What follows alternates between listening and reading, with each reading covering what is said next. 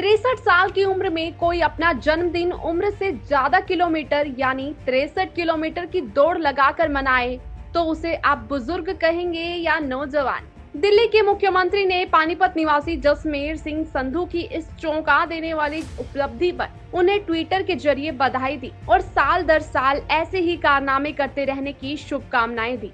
केजरीवाल ने अपने ट्वीट में लिखा a very happy birthday at the rate flying Sandhu and congratulation at this amazing feat keep getting younger with each passing year flying Sandhu के नाम से मशहूर जसमेर सिंह संधू मूल रूप से करनाल के गगसीना गाँव के रहने वाले हैं। इस साल भी जसमेर सिंह ने अपना जन्मदिन अनोखे अंदाज में मनाया। जसमेर सिंह संधू अपने जन्मदिन पर हर साल अपनी उम्र के आंकड़े को हराते हैं। और जितने साल की उनकी उम्र होती है, उससे ज़्यादा किलोमीटर दौड़ते हैं। जसमेर सिंह 25 अगस्त को तिरसठ साल के हुए हैं। इस मौके पर जसमेर सिंह संधू ने मंगलवार रात 12 बजे पानीपत टोल से दौड़ना शुरू किया और करनाल होते हुए वापस पानीपत तक दौड़ते हुए तिरसठ किलोमीटर से ज़्यादा का सफ़र तय किया। पानीपत टोल प्लाजा से मैंने अपनी रनिंग स्टार्ट की थी और मैं अपने साथ दो गाड़ी रखता हूँ, एक पीछे और आगे, ताकि ट्रैफ़िक से भी थोड़ा सेफ्टी रहे।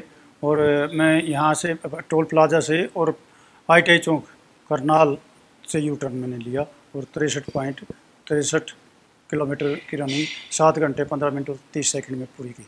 इस बार जसमेर सिंह संधू युवाओं को सेहत के प्रति जागरूक करने के लिए दौड़ रहे थे। अच्छे भोजन और रनिंग से कैसे स्वास्थ्य ठीक रखा जा सकता है, इसका जसमेर सिंह संधू जीता जागता उदाहरण है। जसमेर सिंह अनाज नहीं खाते हैं यानी ना रोटी खाते हैं और ना चावल। संधू ने कच्ची सब्ज़ी, हरे पत्ते और फलों को ही अपना भोजन बना लिया है और इसी को अपनी ऊर्जा का कारण बताते हैं। दाल और दूध भी उनकी डाइट में शामिल है। सुबह ग्रीन सलाद ग्रीन वेजिटेबल्स और अनाज में पिछले दो साल से नहीं खाता और फ्रूट्स और दूध, लस्सी और दही ये मैं खाता हूँ।